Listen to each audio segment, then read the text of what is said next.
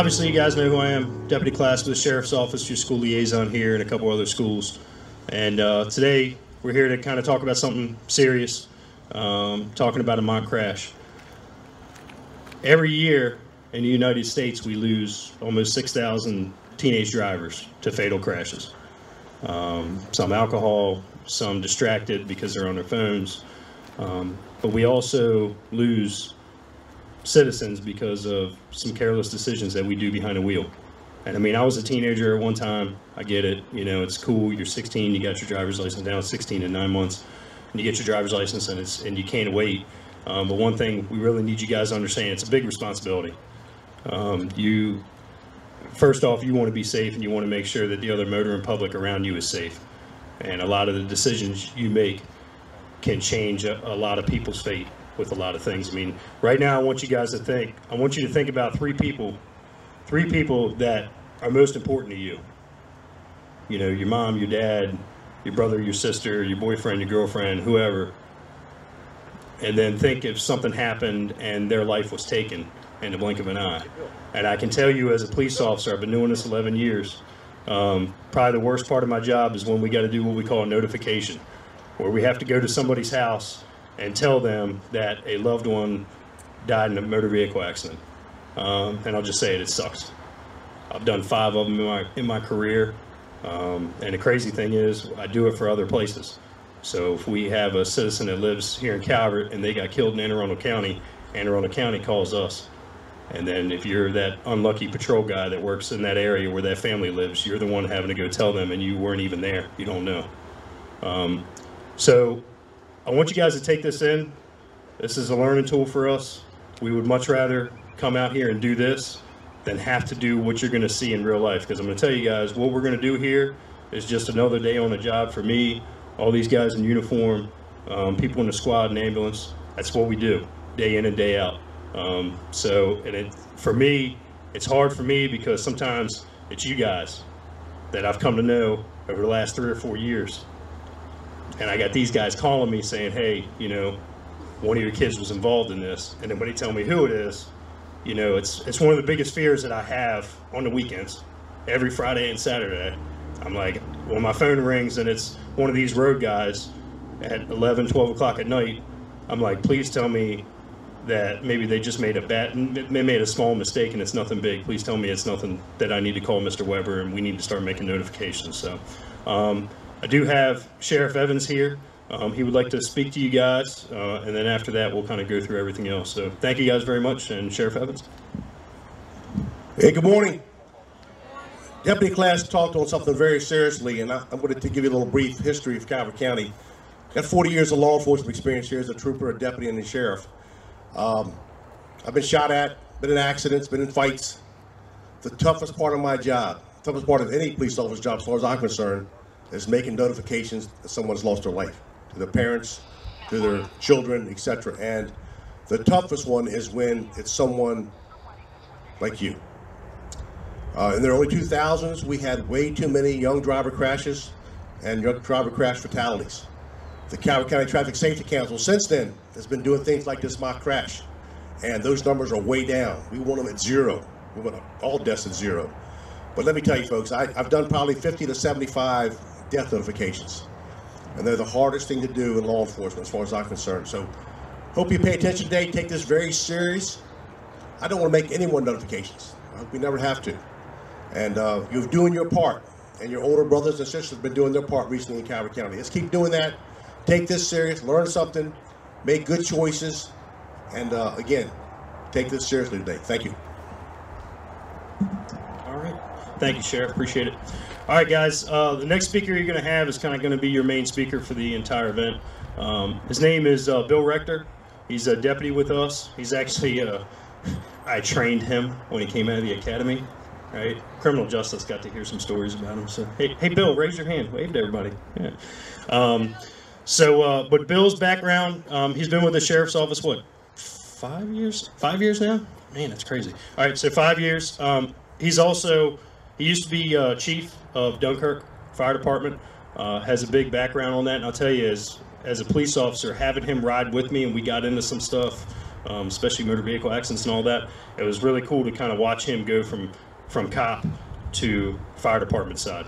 Um, so he's going to kind of be your narrator on this entire thing. He's going to talk to you guys through the process. And without further ado, Deputy Bill Rector.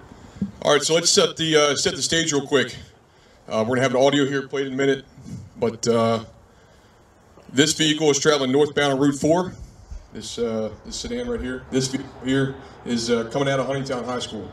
All right, the audio is going to describe the scenario, and then once uh, the fire department and police department gets dispatched, then we'll talk about everything that's takes place there. April 8, 2018, 3.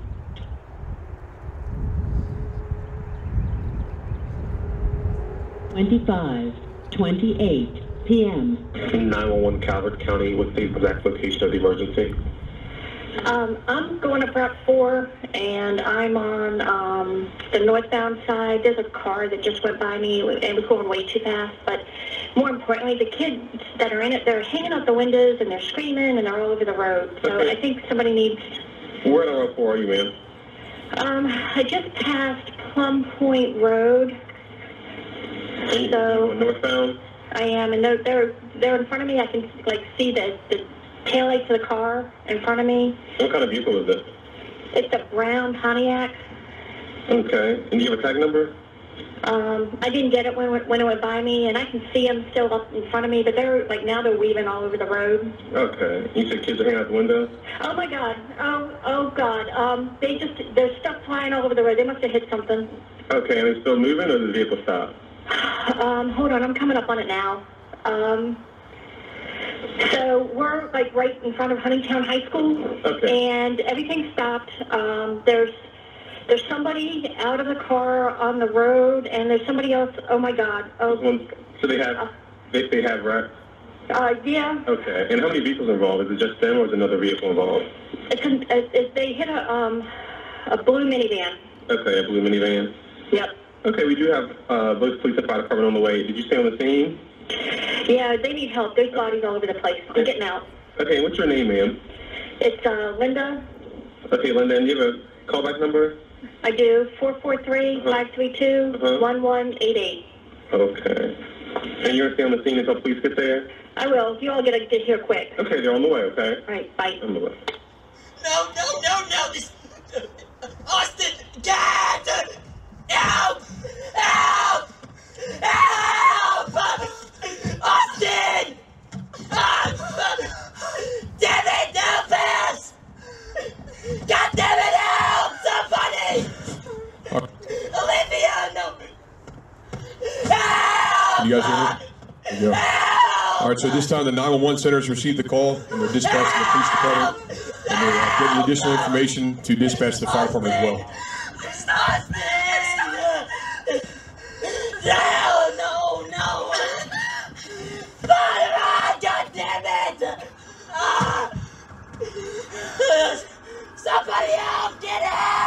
So typically, the nature of the beast, there's uh, police officers on the street. They're usually going to arrive first. They're going to assess the scene and then figure out what exactly they have.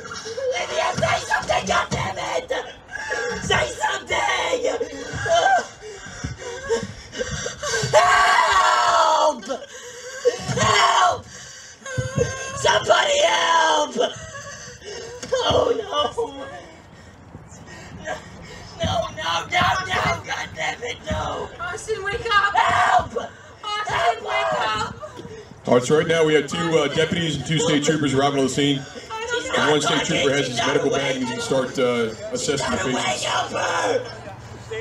He's not weak either, help us! No, get, get her first, she's not moving! No, get her So the state troopers on the right vehicle first! came upon a, uh, a juvenile male who was ejected through the front windshield. They're not talking! They're trying to figure out what exactly they have, and uh, I can tell you he's not looking too good. I'm not, I'm not hurt, God damn it, hurt, help them! I'm not hurt! No, you need to get down, you have to get down, please! Nothing hurts! All right, so the fire department from Huntingtown is here. This vehicle is the rescue squad. Their primary function is to cut the cars, and they're going to get out with, and uh, start. They have, and then they're going to start uh, cutting the vehicle with their extrication tools.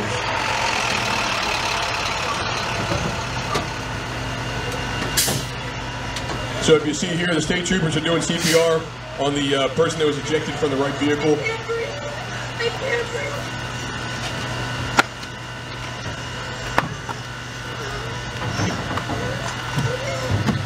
One person's been removed from the van and is sitting on the curb over here. You guys see?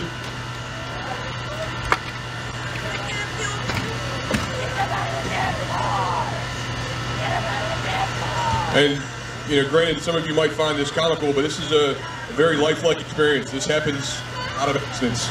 People get emotionally charged. They don't know what's going on. They're emotional. And then you get a bunch of people show up and you don't know who they are.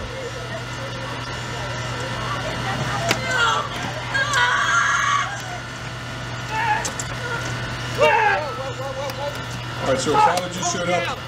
Was anything on his way home from work? Found out there was an accident involving his children.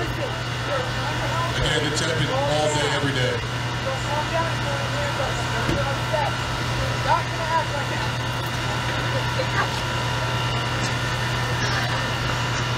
Stop. Stop. Stop. Ladies and gentlemen, walking up to your far right, he's a paramedic. And as you see, CPR uh, was not. And they have pronounced the one person dead at this point. He's under the white sheet.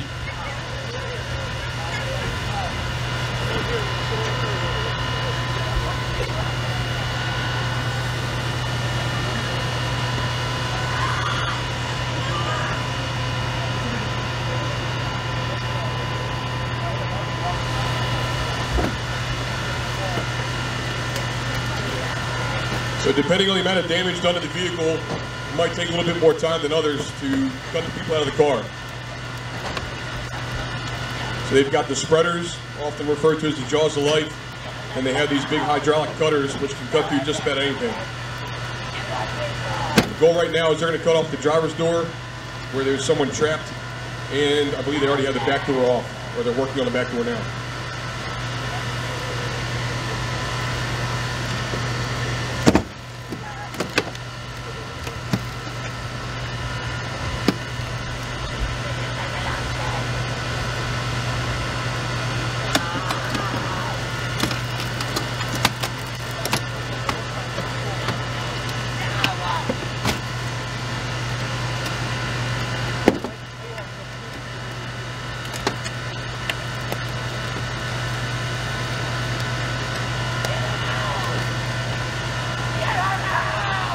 So these fellows on the uh, rescue squad, they have brand new equipment, and even with that and, and some of the best training, it still takes some time.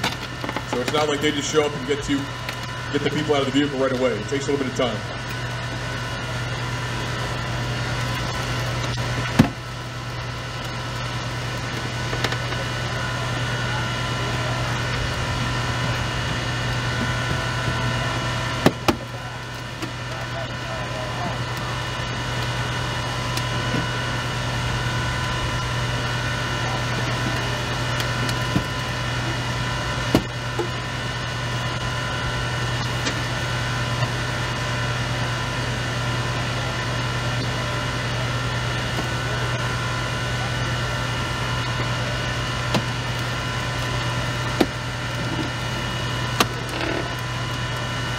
So if you look inside the van, you see that there's someone in the driver's seat. Everybody see that? All right, they covered him up with a sheet, not necessarily because he's dead, but because uh, they don't want to get glass and all that kind of stuff all over them. So they need to gain access to that person, and then they're going to work on getting the car.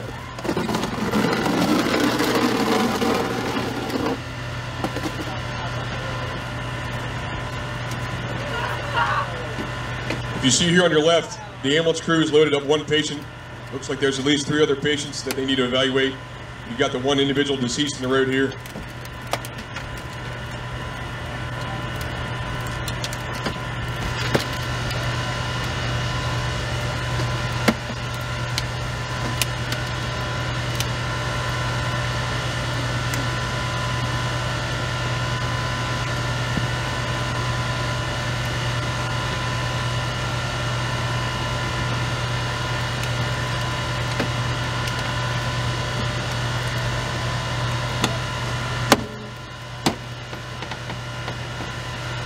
Durner, raise your right hand. Raise your hand. All right. So down there by Deputy Durner, the uh, driver of the unit um, has been removed from the vehicle to uh, stabilize the scene, a bit rowdy, and uh, then we'll talk about what's going to happen next. that. All right. So the fire department has the driver's prop, which you see on the uh, on the back sliding door minivan, and once they get that open, that's going to give them access to the uh, people inside the car.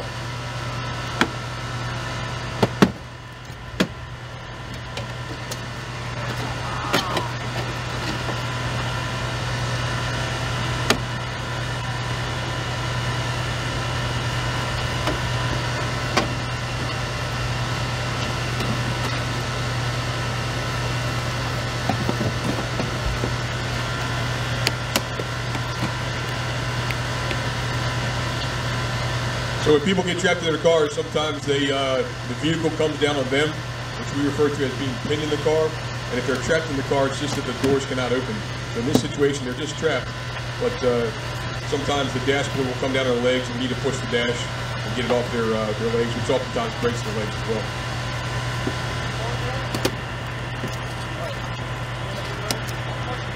All right, so Deputy Durner in the middle here, he's uh, assigned a patrol division there's suspicion that this driver's been drinking alcohol, and he's going to place them through uh, some testing, which is called standard field sobriety testing.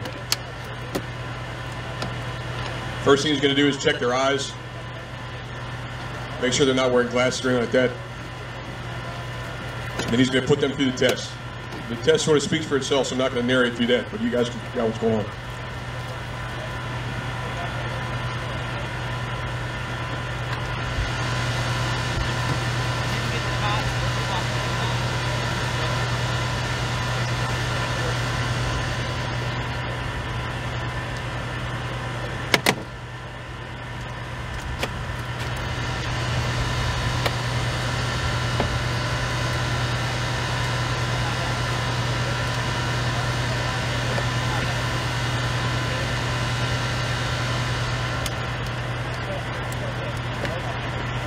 Right, so now that Deputy Durner has checked his eyes, there's two more tests he's going to put him through.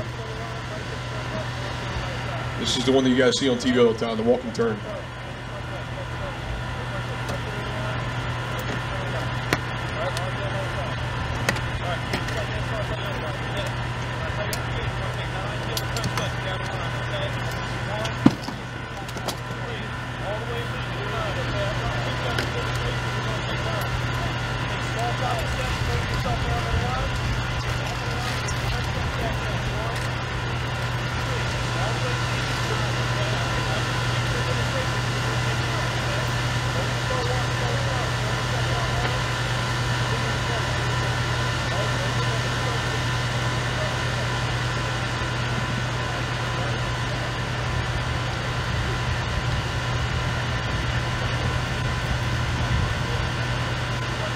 All right, so when we do the uh, walk and turn, we're not just looking to make sure that they, they can walk in a straight line. There's a bunch of different clues, clues that we're looking for, and Deputy Durner is taking note of that. Typically, he's probably going to have his, uh, his chest camera on, his body worn camera, and be reporting everything. And that's uh, going to assist in his charges if it gets to that point.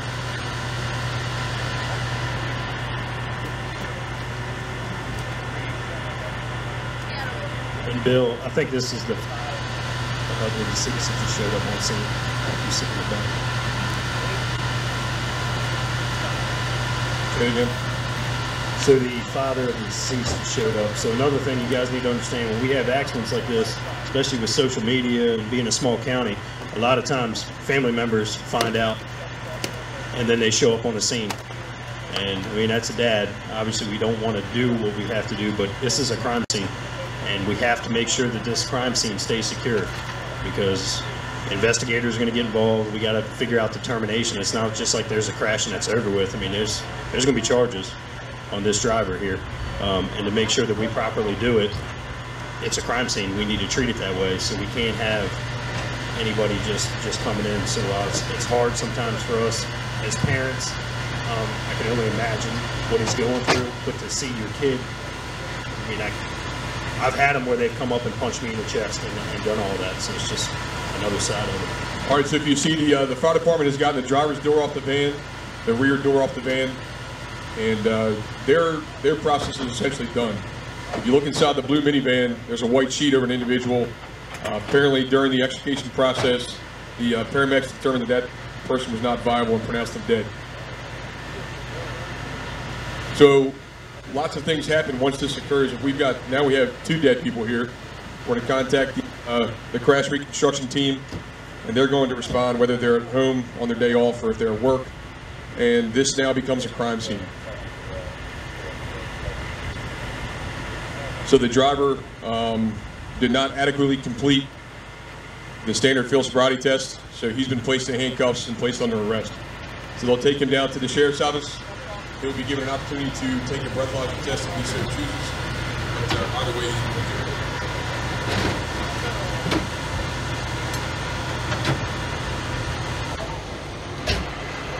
So the scene is sort of stabilized at this point. There's not a whole lot of active components to it. The fire department is done doing their, their part. Um, now we need to wait for the funeral home to show up, the tow trucks to show up, the crash reconstruction team to show up, and uh, then we need to start making contact to those that were affected by the accident.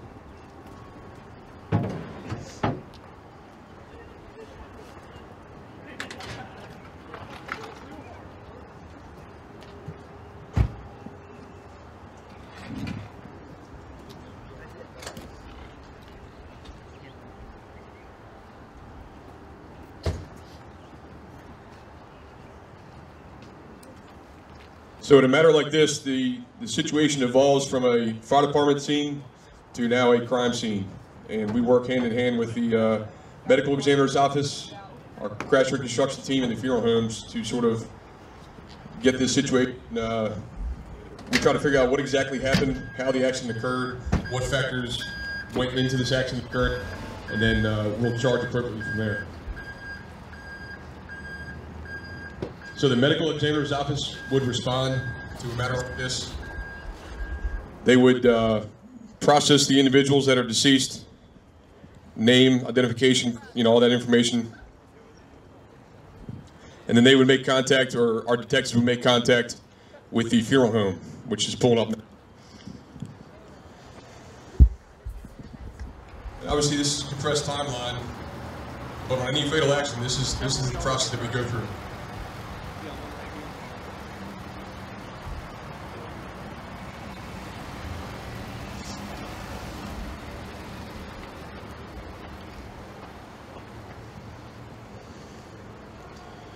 Sometimes we have accidents to the point where we can't get, or it's not feasible for us to get the people inside the vehicle out of the vehicle. They're too mangled up in the car. The car is impaled in them. They're impaled in the car, whatever the case is. So that's when the fire department will come back and a much, oftentimes more time consuming process, take the car apart by many different means. They sometimes have to use saws. They sometimes have to use air tools to take this car apart in order to get the person out of the vehicle and into a body bag.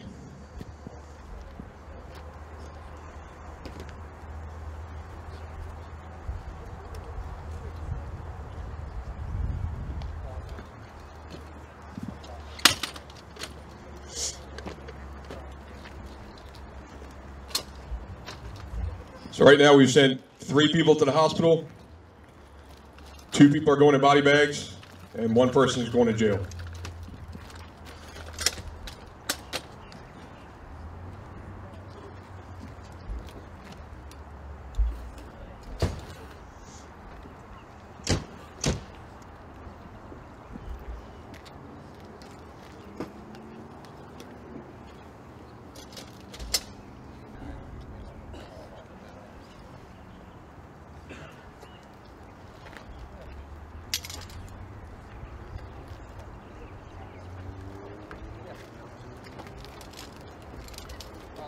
So we had a car full of uh, high school aged kids in this scenario, right? And one of the biggest challenges that we face sometimes is making contact with the family. One, it's challenging because we need to tell the family, but two, we sometimes have issues finding the family. So social media is one thing that we battle with a lot because people post pictures and video, these different things of the vehicles, and parents find out. Then they're calling the sheriff's officer, the barrack and asking questions that we can't release over the phone. So then we need to try to contact them at work. Um, we make every effort to notify people that they've lost a loved one in person because it's the right thing to do. But uh, sometimes that means contacting, you know, the uh, Florida State Police and having them respond in person to notify someone that lives in Florida.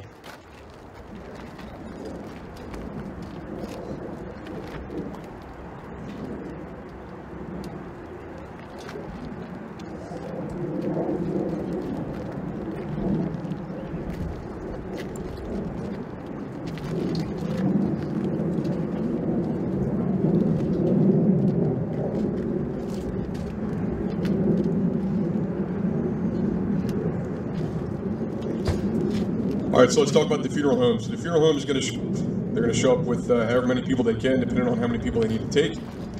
And these bodies are going to be going to Baltimore for an autopsy. Anything that is uh, not in a controlled environment like a nursing home or a hospital, typically they're going to be going to Baltimore for an autopsy. So because it's uh, time is let's say it's eight o'clock, it's likely that they're going to get an autopsy done this morning. But if it's a busy night for up in Baltimore, that's where everybody in Maryland that dies the day before goes for an autopsy. If it's a busy day, they're going to go into a refrigerator and wait till tomorrow.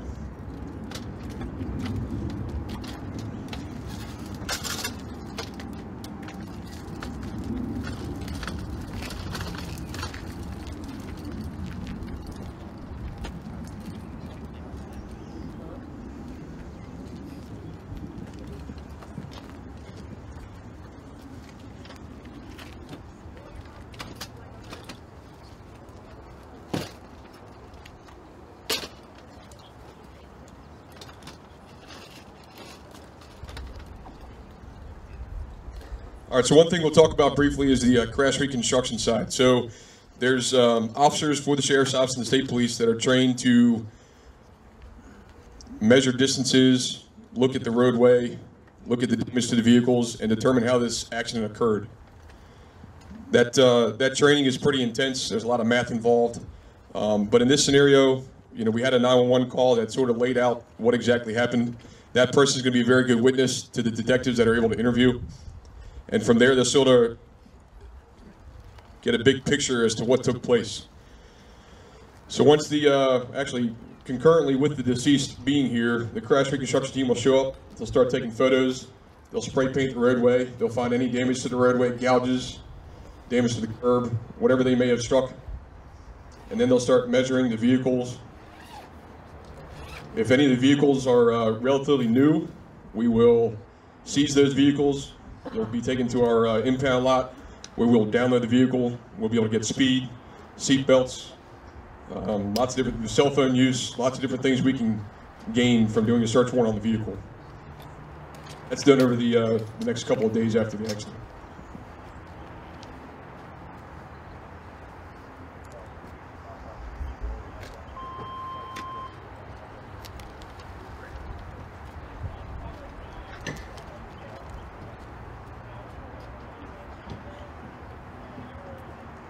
Can't reiterate enough that this is uh, this is about as realistic as it can get. It's realistic for the police officers, it's realistic for the fire department personnel, and it should be realistic for you guys.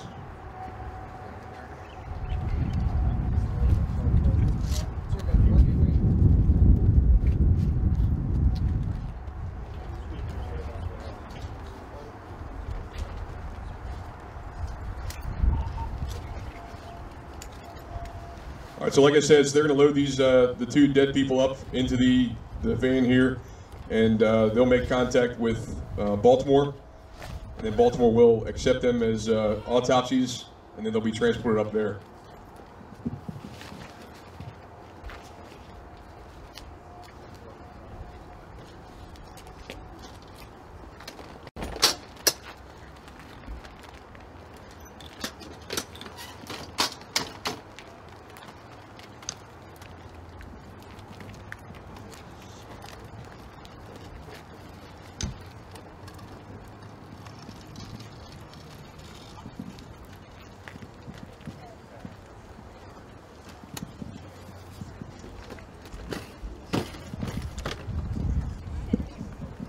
All right, so the gentlemen from the uh, funeral home are about done. Before we go into a uh, question and answer period, we're going to thank a couple folks that were uh, pretty instrumental in this today. Impact Research, the Huntingtown Volunteer Fire Department, the Calvert Advanced Life Support, which is the uh, emergency vehicle in the back. They're based out of Prince Frederick, and they're the uh, paramedics for the county. A Plus Towing and Repair in St. Leonard, they're the ones that uh, took care of the vehicles for staging this today. The Calvert County Public Schools, the DARE officers, the Huntingtown High School, and the uh, the drama students. They did an excellent job. So thank them.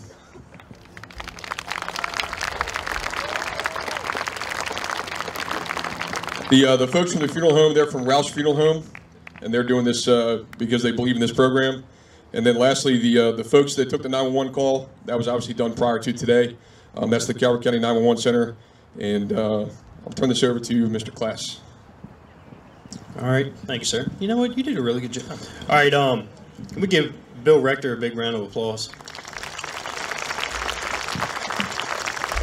Guys, as he, as he said, it doesn't get any more real than this. And just kind of watching you guys, I saw, you know, I saw staff members tearing up. I saw some of you guys tear up, and I'll tell you, man, we do too. It uh, it's not fun.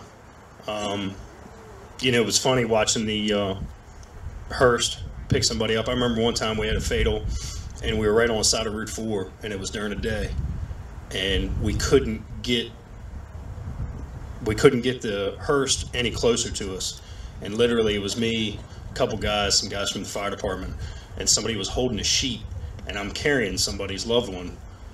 You know, just like at the time you're fine, but afterwards, let me tell you something, buddy. You get back in that patrol car, or you go behind one of these big squad trucks, and you'll shed some tears, you know. Um, and that's why we say this is so important. This stuff happens every day in this country, um, and it's it's one of the hardest things we ever have to deal with, um, just as human beings, is, is losing somebody, even people that you don't know. Um, so I really do hope you guys got something out of this. You know, prom is right around the corner. Uh, it's May 19th for us.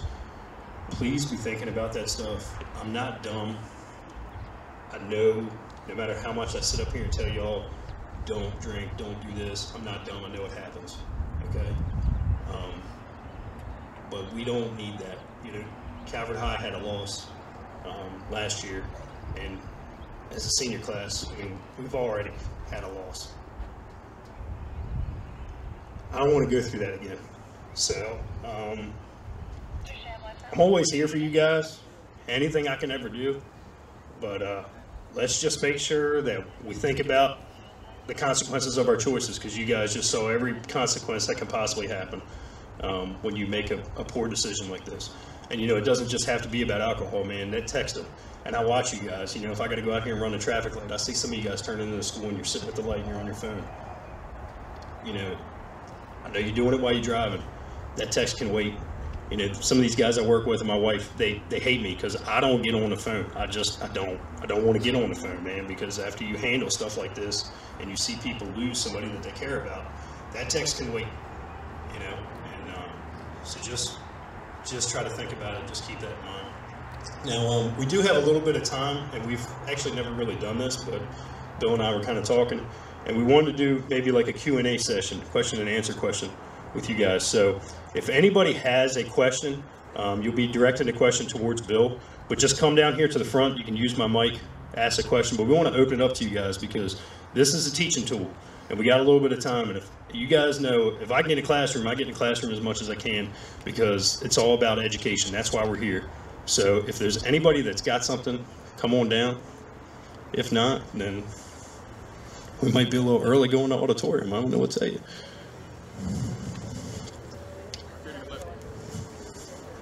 Ron, you got one? Yeah.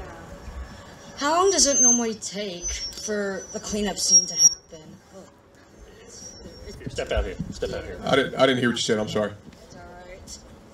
How long, how long does the cleanup normally take? Like, how many hours usually? Well, it all depends. So, um, if you guys can think back, we had a fatal accident at uh, Route 2 and C. Jones Road a couple weeks back. You guys remember that? All right. We lost uh, some folks in that accident. the cleanup itself doesn't necessarily take a whole lot of time, but you got to think the fire department has to do their job, and then it becomes a crime scene. So then the investigators have to do their job. So we had to call out the North Beach Fire Department to get elevated pictures from their ladder truck, and then the tow truck has to come, the medical examiner has to come. So I, I would say there's no standard time frame because it depends on how big the incident is. Um, but that incident probably took about two and a half, three hours. Well, we try to get uh, any anytime that someone dies in a car crash, one of the priorities is to try to get the, the scene stabilized and get those bodies out. Okay, but we're at the whim of the medical examiner's response. And uh, we're at the whim of the medical examiner's response, which could they could be coming from Baltimore, and uh, the funeral home. I'll try that one back on. Who's got some more questions? Yep. Was this like an actual incident just reenacted? So this is a staged incident because uh, of where we are, right? You guys know the roads that we were simulating. Um, so yes, this was a staged incident. Who else?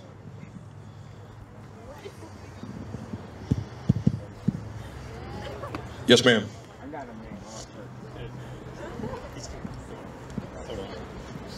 With social media, um, and a lot of the kids finding out that maybe their friend's been in an accident, how do you want them to handle uh, going to the scene or how they can support their friends? So I would say there's two ways to answer that question. First and foremost, social media is a great tool when it's used appropriately, and it's a terrible tool when it's not. So if if stuff is put out there about a bad accident and names are thrown out there and stuff, that's not what we want. If people find out about an accident, which is going to happen, we would rather you respond to someone else's residence. Do not respond to the scene because there's nothing you're going to be able to do there. Um, as a matter of fact, it actually makes our job a lot harder if people show up because then we have to call more police officers and make a staging area.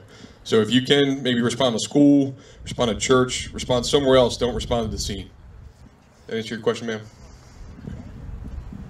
All right. I was wondering have you guys thought like other ways to reduce like these incidents happening. Sure. So the question was, have we done other things to reduce these types of incidents from happening? So yes, we do every day, and that's by uh, traffic enforcement, um, targeted enforcement for drunk driving.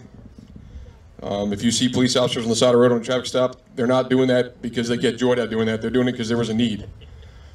So if a car's pulled over, there, there was a reason for that, whether it's a state trooper or a county uh, deputy. So the traffic stops help. That slows people down. Um, you know, social media information put out there from the sheriff's office and state police, a bunch of different education. Who else?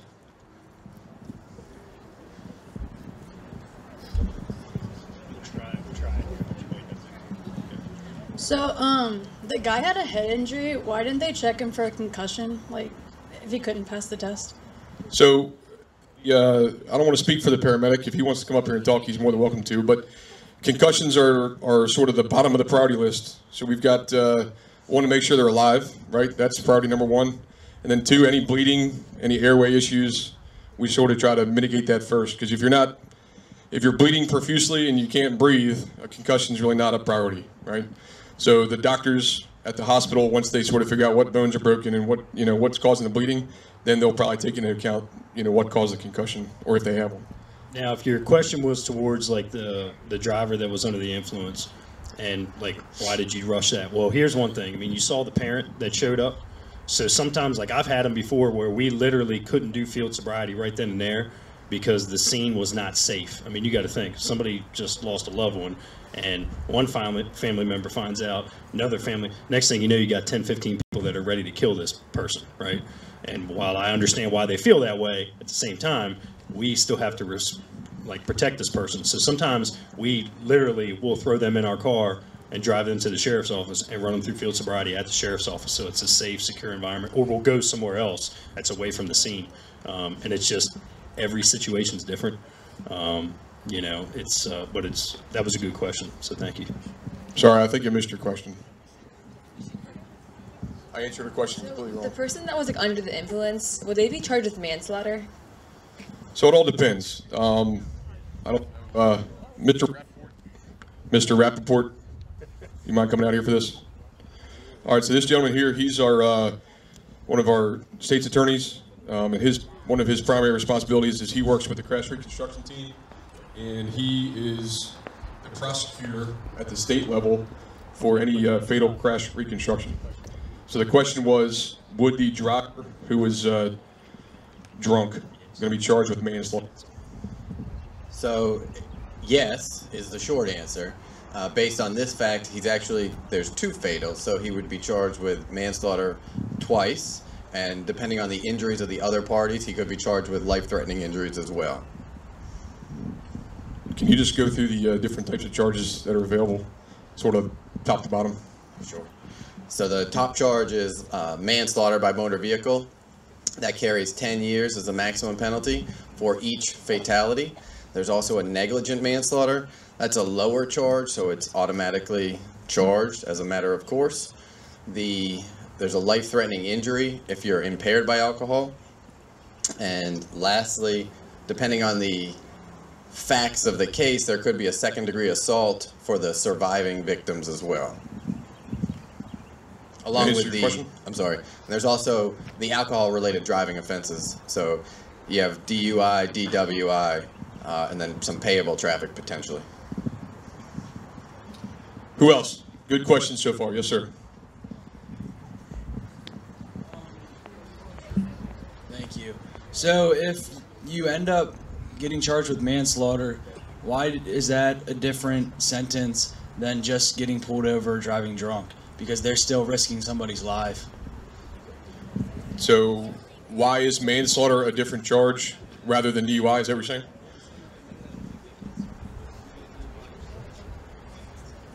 Right. So, okay, that's more of a, a rhetorical question, but so the question, I guess, Mr. Rappaport, is DWI is so severe. Why is that penalty so much less than manslaughter?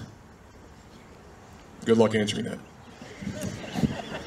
Well, in order to have manslaughter, you have to have a fatality. So the just the fact of driving impaired does not that gets you to the DUI, but then you need that with uh, gross negligence and a fatality to get to the manslaughter charge. Correct. And so the penalties, the legislature sets penalties from out of Annapolis that we deal with the state laws, and then that's what we prosecute based on. So I get it. DUI is pretty serious, is what you're trying to say, right? And it's a it's a dumb thing to do, but unfortunately, we can only charge what the legislators allow us to charge, right? So, what if the person driving this vehicle was not under the influence of alcohol? What would the charges be?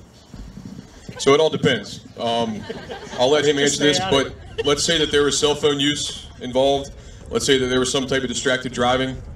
Um, that all plays a part. So alcohol is is one factor of many different factors that we look at, but uh, distracted driving is just as bad.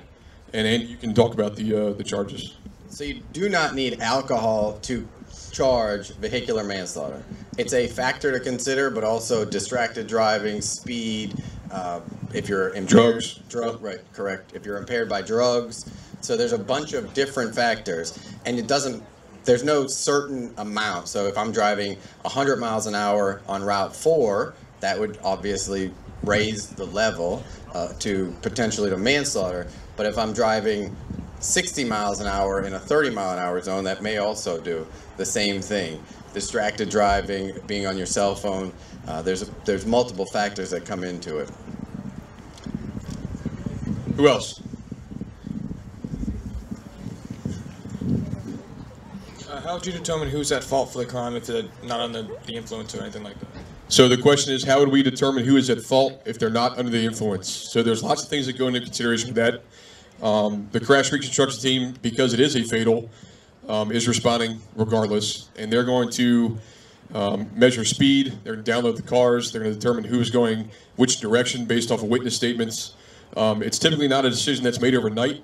It's going to require some cell phones to be downloaded via search warrants. It's going to require the vehicles to be downloaded via search warrants. Um, we're going to get witness statements from anybody that may have seen it. And then we're also going to try to get any cameras from the roadway that uh, may have caught it. So we sort of take in consideration everything that we can find, and then we present it to Mr. Rappaport for final review. Uh, another question that I had that a student asked was, um, you know, when the parent comes running onto the scene, say they punch a police officer, which has happened to me before, do you charge that person? No. I mean, you guys got to take into consideration, you know, why they did what they did. And, and like I said, when the one hit me, I'm not going to charge them. I mean, it, they just lost their loved one. So it was a good question. Um, but no, we're, we're not looking to charge anybody when they get upset and do something like that.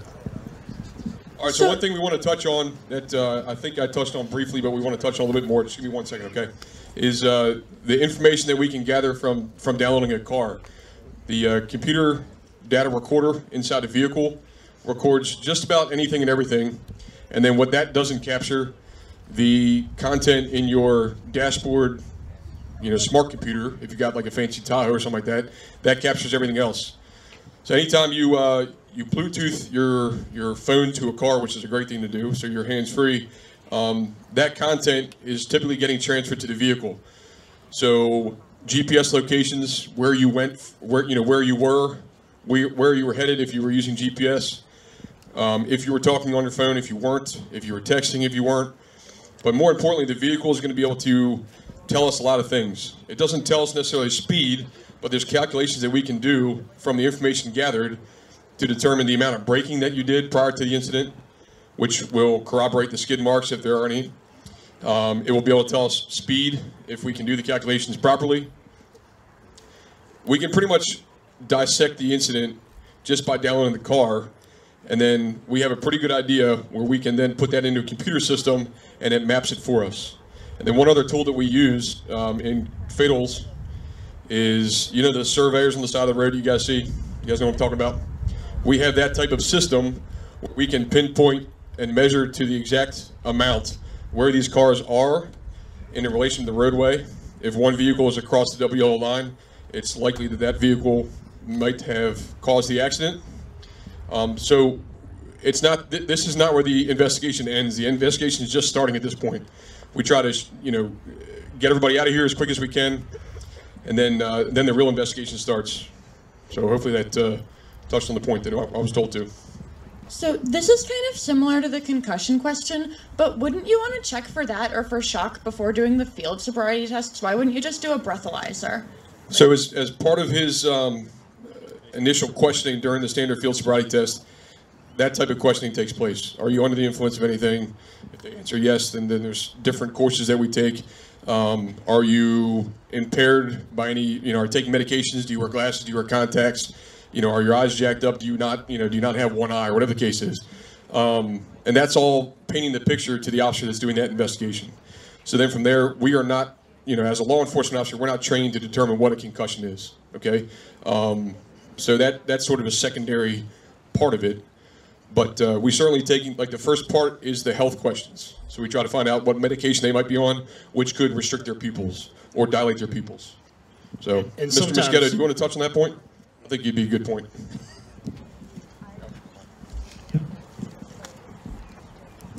Number one, our first priority is to make sure anybody that's been involved in a motor vehicle crash, their safety is number one. If we can, we'll have to get them to the hospital. But one of the, this is a good question. One of the things that are actually built in the curriculum of the standardized field sobriety test is a medical assessment. We check pupil size to make sure they're equal. If you have unequal pupil sizes, that's a good indication. Someone might have a head injury. And we also check for equal tracking, make sure the eyes can track equally. Anybody's got a head injury, neurological issue, will start to show symptoms and signs of a head injury at that point. And if we have those signs, we stop immediately. Again, because the safety and the health of everyone on the scene is our priority. And in that case, people tend to think that we need field sobriety tests to make an arrest. We don't. All we need is reasonable grounds.